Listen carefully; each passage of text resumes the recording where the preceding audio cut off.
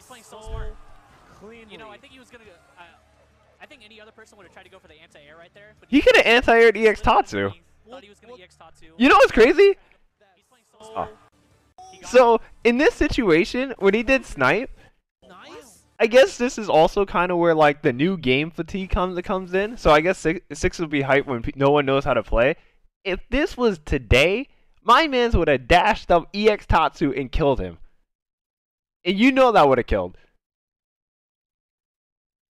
Because that was definitely a mistake. Yeah, that would have been no problem. But I guess because this is back when the game was new,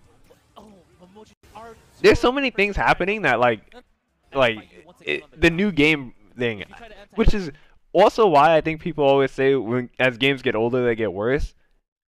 Because, but I think when the game first comes out, it's hype because no one knows what they're doing because of the